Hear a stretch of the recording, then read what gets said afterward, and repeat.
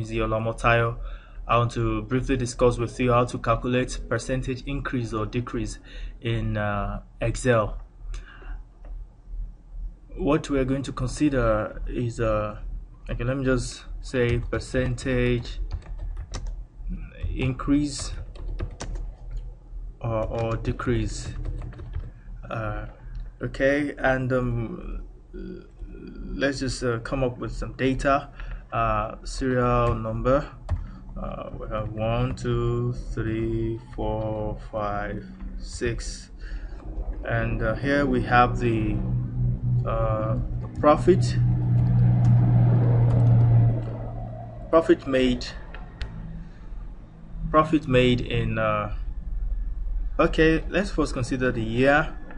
The year we have here 2010 2011 2012 2013 excuse me 2013 2014 and 2015 we want to know uh, the okay also we have the profit made uh, profit made in 2010 let's say it's uh, 12,000 uh, profit made in 2011 12,500 2012 is 14,500 and we assume there was crisis in 2013 so the profit came down to uh, uh 9,600 and a little bit of appreciation here in 2014 that's 10,200 and uh, lastly we have a surge in 2015 and the surge will give us uh, 15,500 so this is uh, the data and I now we have another column where we calculate the percentage change. Okay let's just percentage change. It could there could be an increase and it could also be a decrease. So before I continue let me just centralize all my entry. Align center. Great. And also I would like to increase the font of uh, the title bar. And okay and try and make a kind of all right uh, the space is too much. Let's bring them.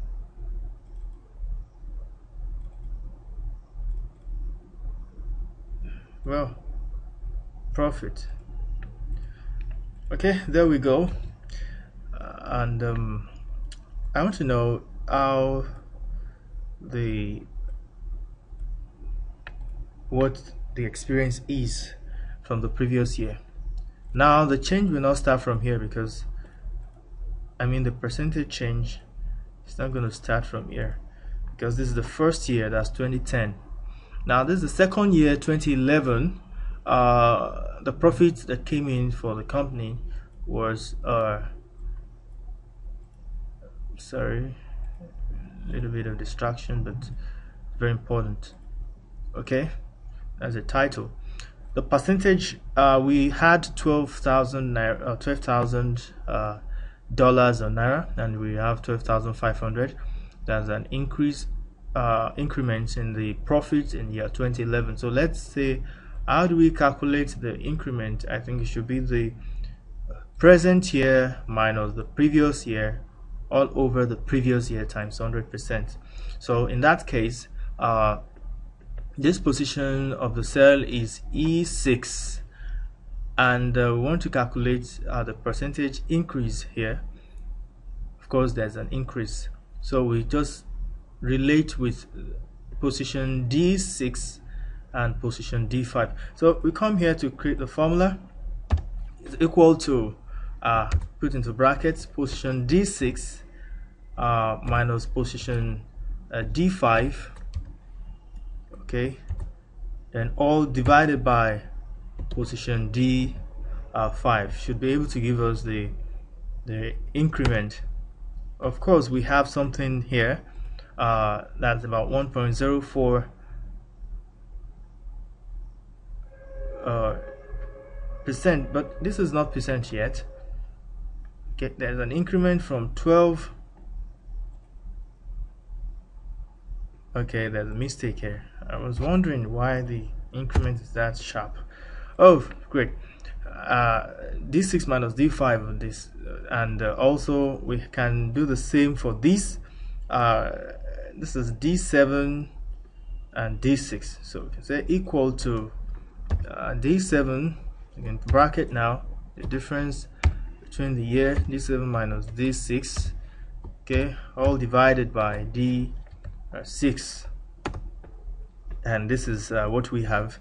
And of course we can we can uh, drag this down so that it covers up for the rest and save our time uh, save the stress of typing in formula for every uh, every cell. So here we are we have uh, the change uh, in profit but uh, we want them to be in percentage. So what we do is to come here. All we need to do is to come here and click on the percentage symbol. So once we click on it I'm sure that to naturally or generally convert everything to percentage. And there we are drag down. And we can see that we have something to work with.